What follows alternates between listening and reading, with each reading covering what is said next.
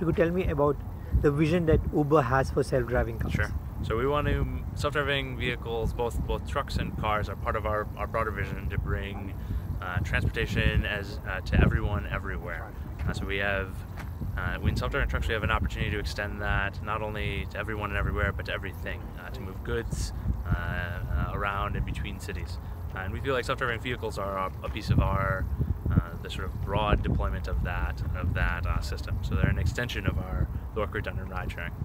If you're looking at self-driving cars mm-hmm. um, or vehicles, are there big challenges in the way? Oh, absolutely. This is this is an enormous uh, and ambitious sort of technical endeavor, and we've really we've brought together both in San Francisco and in Pittsburgh uh, a pretty tremendous team of roboticists, of machine learning experts, of tremendous software engineers to work on uh, this enormous challenge.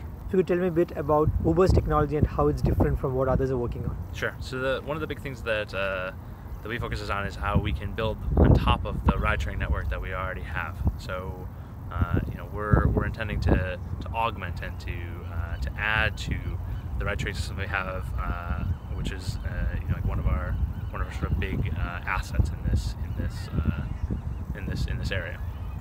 And and in a scenario when you have multiple self-driving vehicles on different platforms sure. on the road, is it going to be necessary for uh, those platforms to start speaking to each other? Sure. So that's that's a, that's a really good question. Um, it's uh, we, we don't we don't uh, depend on it. So right now we need to we need to see and we need to interact with vehicles that we have no guarantees would have that sort of sometimes called V2V uh, technology.